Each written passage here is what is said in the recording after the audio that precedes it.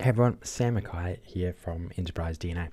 Okay, a really quick, uh, quick formula idea here that I want to cover. So this, um, what what I'm what we're looking at here is the resource from the relatively new financial reporting course that came out on Enterprise DNA Online, and I just want to do a breakout session of one particular formula idea which I I put in this particular um, report showcase and it's this one here. So I want to have a, I want to show you how to calculate a rolling average.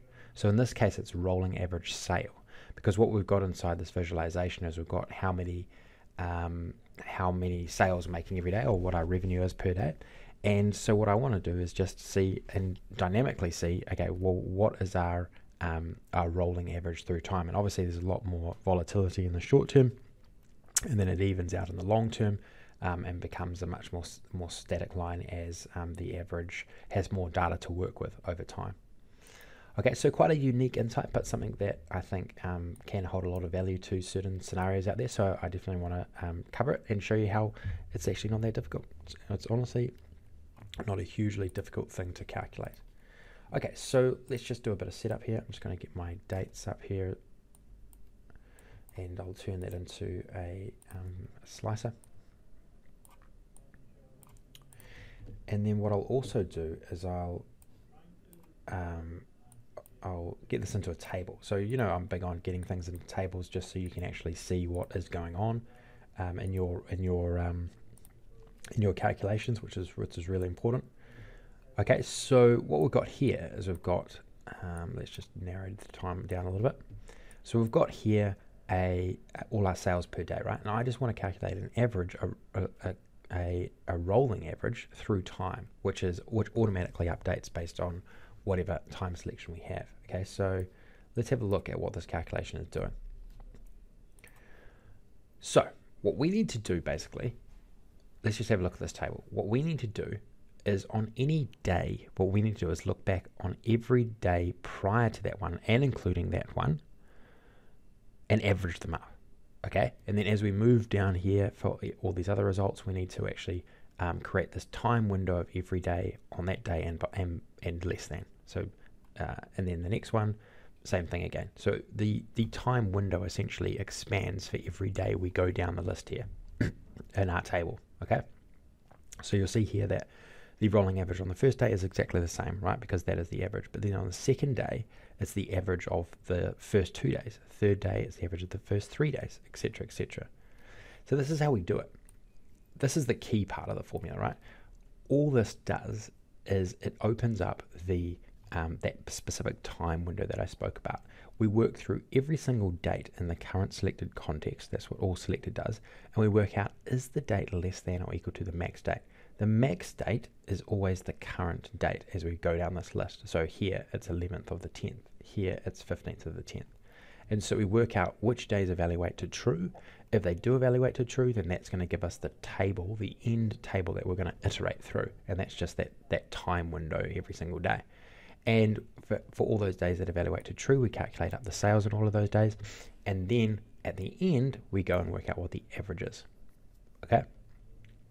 and we do that for every single result in a very in a, in a unique way so every single result this exactly the same thing happens it's just the time window is much larger because we're looking across a larger range of, da- of dates basically okay so the great thing about this though is also dynamic because they're all selected right they're all selected makes this a totally dynamic calculation so if i just put this in here might have to actually change the colors just to make it stand out a little bit so you see that? So there's quite a big, um, quite a big change, obviously from the start, and then it sort of evens out, and then we can see what our average sort of turns into. Then if we wanted to say move our date range around, similar sort of thing, right? We get our average um, moves higher, and then averages out over time. And so overall, you can see that this calculation is not super difficult. It's just understanding that what you can do with, within with, within an iterating function, first of all, yeah, and you can actually put these these virtual tables, which I love talking about. And then it's just use, instead of using all, it's using all selected. If we used all, we would get a really weird number. So let's just have a look. So I'll just use all. And you'll see now we get these really, really odd numbers. And also it, um, it's a different um, axis as well. I, I think actually what you'll find if we change the axis here, if we change the axis, it will actually, it will actually be the, actually it's not the right one, is it? Nope, don't want to do that. Sorry. Um, we start both of these at zero, it will actually be quite a flat line, I would imagine, because you're actually working over much um,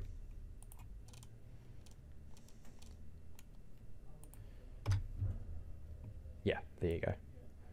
So that is way way different because it's working across every single day through time which is totally wrong. Um, actually that's still that's still not actually the correct um,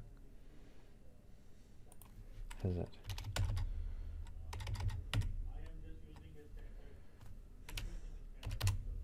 Just try and get them a bit more even. So you see, so I've just got them a bit more even. I probably should actually turn this off, show secondary. Yeah, okay, sorry, that would have solved things a lot easier. Um, but you'll see it's actually more flat there because what's happening is we're not taking into account the date selection. We're actually going way back to the beginning of time. Okay, and that's and that's where this uh, all selected all selected is key. Okay, cool. So let's just add that back and get um, a more uh, interesting result for us. Cool. Okay, so it's the rolling average, um, the, the sort of dynamic rolling average. Okay, so hopefully you enjoyed this breakout session. I think we'll, we'll, we'll end things there. Um, yeah, lots of, lots of unique uses for this. I think that you could you could use across a wide range of um, scenarios. So hopefully, hopefully you can um, you can start using this somehow, or I just enjoyed learning about the logic behind how it all works. Okay, definitely throw the video a like. Always appreciate that if you can, um, and don't forget to subscribe to Enterprise DNA TV. Talk to you very soon.